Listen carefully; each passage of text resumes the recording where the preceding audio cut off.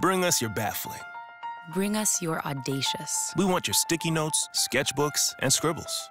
Let's pin them to the wall, kick them around. Kick them around, see what happens. Because we're in the how do I get this startup off the ground business. The taking your business, global business. We're in the problem solving business. 400,000 people. Ready to help you solve problems while they're still called opportunities. opportunities.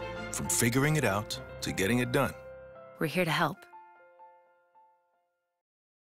We're we're a team that has won 10 games and beaten some good teams and really hasn't hit its stride yet because we've been playing catch up physically all year long. You know, we've been hurt all year long. We haven't had a full group.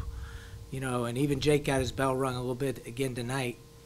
You know, and uh, you know Pat's been injured a lot of the year. Jimond Ivey's been injured. You know, Josh's grandma died, so he doesn't practice. So we've been playing catch up. And so I think from that perspective, if we keep our attitude and we continue to work hard at it, we're going to become a good team because we've been playing a little short-handed most of the year. You know, not having Pat to gobble up those 20 minutes and blocks at the rim really hurt us. Now, you know, uh, on the other hand, Dog's playing at a very high level offensively, you know, and he's a very good passer.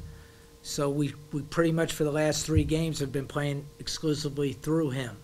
He, he tells me everything that he sees. Anytime I come to the sideline, he talks to me, tells me to attack quicker or go slower or, uh, spin back or whatever have you. He's just me and him have that type of relationship where we can tell each other what the other one sees when the other one's not in the game. Okay. So just having him there has helped me with my game. Just from the practice and from him being on the sideline telling me telling me what to do. It's a lot of us that's putting away our individual ways for the better of the team. And when it's been like that, we've been playing good. It's, it's a different team. We, we don't care about who has this. We're going to give it to whoever's hot on every night. Whoever got it going on any given night, they're going to get the ball, and we're going to all play around it. Well, we did a good job of throwing it into Dog, and I thought Kwan played pretty well. You know, I thought he shared the ball pretty good. Um, I thought Aaron Jackson finally played like he was capable of you know, which you know he he's a guy that should be able to give us some energy and some skill level.